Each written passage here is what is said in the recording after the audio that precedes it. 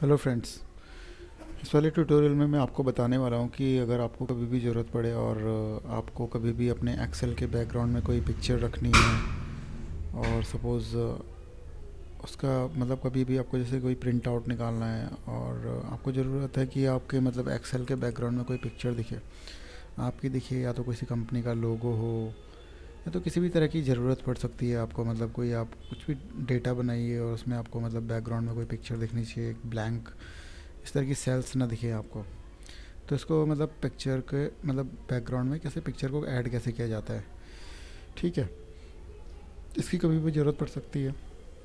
जैसे आपको कभी प्रिंट आउट निकालना है प्रिंट आउट में आप चाहते हैं कि किसी कम मतलब जिस भी कंपनी में आप जॉब करते हो, उसका एक लोगो उस बैकग्राउंड डेटा के साथ। या तो नॉर्मली भी आपका एक व्यू चाहते हैं कि एक, कोई भी पिक्चर भी किसी भी तरह की आपकी हो, या तो कोई लोगो हो, उससे रिले रिलेवेंट कोई चीज़ हो तो इसको कैसे ऐड किया जा सकता है? तो मैं आपको बताता हूँ, इसके लिए आपको हमें जाना पड़ता है पेज लेआउट पे। पेज लेआउट पे यहाँ पे बैकग्राउंड आता है। बैकग्राउंड पे आप क्लिक कीजिए। क्लिक करने के बाद वर्क ऑफलाइन पे अगर आप क्लिक करते हैं तो ब्राउज़ यहाँ से कर लेते हैं। तो यहाँ से जाने के बाद आपके पास जो भी पिक्चर्स हैं, कहीं भी किसी भी फोल्डर में आप वो वाली पिक्चर पर क्लिक कीजिए और इसे इंसर्ट कर दीजिए। ये देखिए, ये पिक्चर आ गया। और आप इसको व्यू में जाके इसकी ग्रिड लाइन को हटा सकते हैं। ऊपर कुछ भी टाइप कीजिए आप। ठीक है? इस तरीके से आप इसको यूज़ कर सकते हैं। और दूसरा तरीका बताता हूँ मैं आपको एक, इसको कैसे आप इसमें ही अगर आप पेज लेआउट में जाके, अगर ये वाली पिक्चर आपको अच्छी ना लग रही हो आप इंटरनेट से लेना चाहते हैं, आपको इंटरनेट से कनेक्टिविटी होनी चाहिए। तो जैसे मैं यहाँ से कोई पिक्चर उठा लेता हूँ बैंक से। इस तरह से मैं सपोज़ इस वाली पिक्चर को ही ले लेता हूँ। इसको इंसर्ट कर देता हूँ। देखिए, इस तरीके से बैकग्राउंड में मेरे वो ये पिक्चर आ गई है। और यहाँ पे मैं कुछ भी लिख सकता हूँ इसके ऊपर। Hello how are you?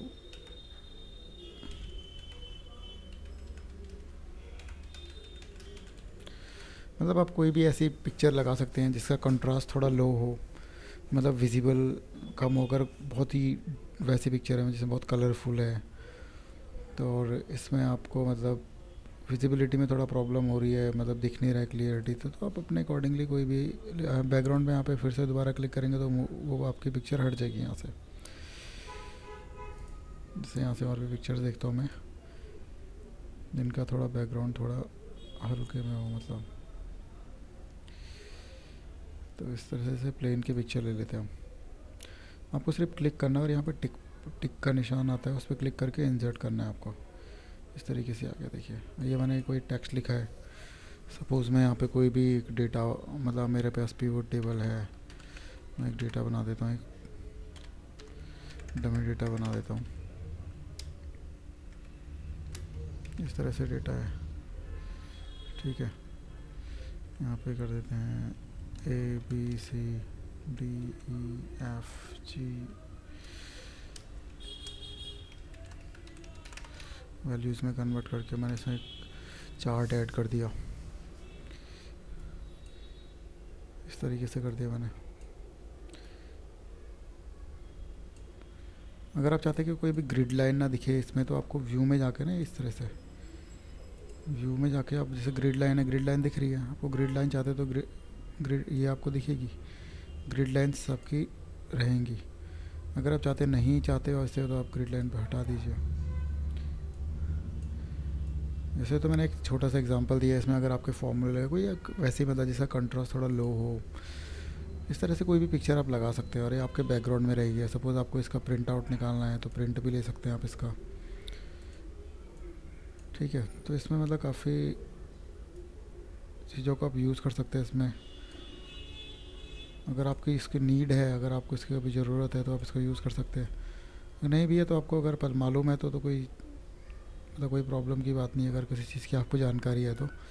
तो इस तरीके से आप कोई भी बैकग्राउंड में पिक्चर लगा सकते हैं। अगर आप नहीं चाहते हैं तो पेज लेआउट में जाके उस पर क्लिक कर दीजिए और डिलीट हो जाएगी आपकी पिक्चर अपने अकॉर्डिंगली आपको जो भी पिक्चर लगानी है, उसको आप इजीली लगा सकते हैं। ठीक है तो इस तरह की मैं आपको और भी ट्रिक्स बताऊँगा कि इस तरह से आप अपने एक्सेल को मल्टीपल तरीके से यूज़ कर सकते हैं। तो प्लीज़ सब्सक्राइब कीजिए शेयर कीजिए। And thank you for watching have a nice day